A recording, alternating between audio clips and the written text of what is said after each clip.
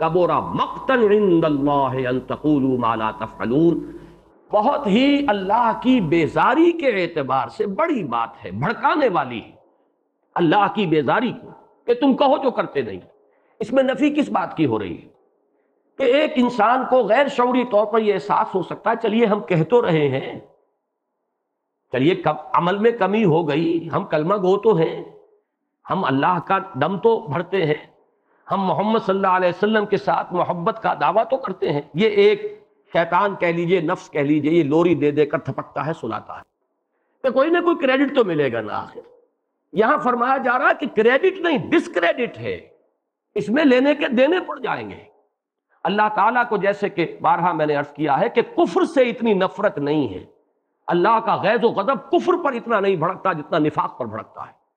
जैसे कि सूरह निसाब ने फरमाया कि इन्नल मुनाफिकीन फिद्दर किल मिनन्नार जहन्नम के सबसे निचले तबके में मुनाफिक होंगे। काफिर के काफिर है, खुल्लम खुल्ला कुफर कर रहा है, इनकार कर रहा है। और ये बदबक इकरार के बाद, मानने के बाद, जबान से कह कर के आमल तो बिल्ला है। और जबान से कह कर के आमल तो बे मोहम्मद सल्लल्लाहु अलैहि वसल्लम। फिर तर्ज अमल उसके मनाफी है। फिर भी जान प्यारी है। फिर भी इसे माल प्यारा है। अल्लाह के लिए और अल्लाह के दीन के लिए जानो माल खपाने को तैयार नहीं। तो इस पर जो है गजब ज़्यादा है और इस पर बेजारी की कैफियत है। तो ये कौल बिला अमल किसी क्रेडिट का ज़रिया नहीं बनेगा, बल्कि डिसक्रेडिट का ज़रिया बन जाएगा। अब दो आयतें मरबूत हो गई। या माला तफलून कबुरा मक्तन तफलून अब यहाँ पर चौथी आयत में आखिरी चोटी बयान कर दी। अगर अल्लाह से मोहब्बत है, अगर उसके रसूल से मोहब्बत है, सल्लल्लाहु अलैहि वसल्लम तो जान लो हमारी मोहब्बत का एक मैार है। हमने भी एक कसौटी रखी हुई है।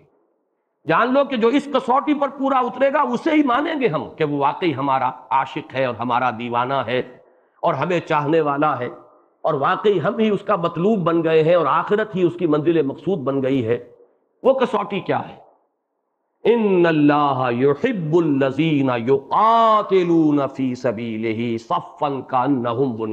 मरसूस। यहाँ लफ्ज जिहाद नहीं लाए। जिहाद जो है, उसमें तो तबलीग भी आ जाएगी, उसमें कोई मजमून नवीसी भी आ जाएगी, तसनीफ़ तारीफ़ भी आ जाएगी, वाजो नसीहत भी आ जाएगी सबके के अंदर लेकिन जिहाद की आखिरी मंजिल, खतरनाक तरीन मंजिल, जहाँ जान हथेली पर रखकर मैदान में आना है जैसे कि गालिब ने कहा कि जिसको हो दीनो दिल अज़ीज़, उसकी गली में जाए क्यों? अगर ये जान अज़ीज़ है तो घर में बैठो, फिर इस रास्ते पर बताओ। इसका दावा ना करो। जबान बंद रखो। लेकिन यह कि अगर ये दावा कर रहे तो फिर जान लो कि हमारी भी एक कसौटी है, हमारा एक मैार है, हम उस पर परखेंगे। हमने उसे खोल कर बयान कर दिया है।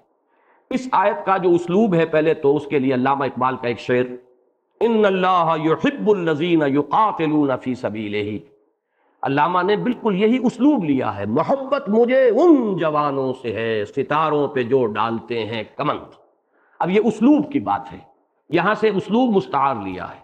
अल्लाह को मोहब्बत अपने उन बंदों से है, जो उसकी राह में जंग करते हैं, सफ़े बाँध कर गोया के सीसा पिलाई हुई दीवार ये मरसूस जो है, जैसे कि सूरह कहफ में आया है, कि वो जुलकरनैन ने जो एक सद बनाई थी तो उसमें यह कि पहले लोहे के तख्ते रखे गए और जब बराबर हो गया दोनों पहाड़ों के दरमियान का खलापुर हो गया तो फिर उसमें पिघला हुआ तांबा जो है, उसके अंदर पिला दिया गया, उसकी दर्जों में।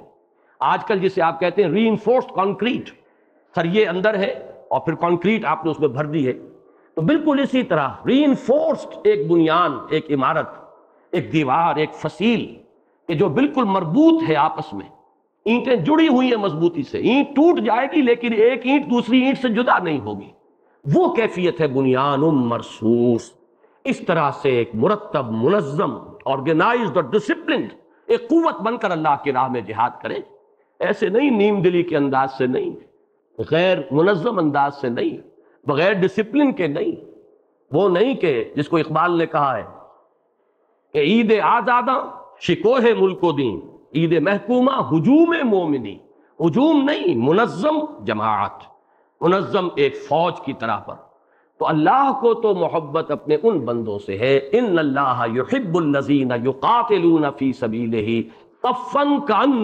बुनियान मरसूस। बुनियान वैसे तो कहते हैं पूरी इमारत को, एक बिल्डिंग री कंक्रीट की। लेकिन यहाँ ये मफहूम में है एक फसील के, कि सफ जो होती है सफ, जैसे कि हर सफ जो है, इताल के वक्त सफ बंदी होती है। तो हर सफ एक ऐसे फसील के मानंद है कि दुश्मन का कोई हमला उसमें शिगाफ पैदा नहीं कर सकता।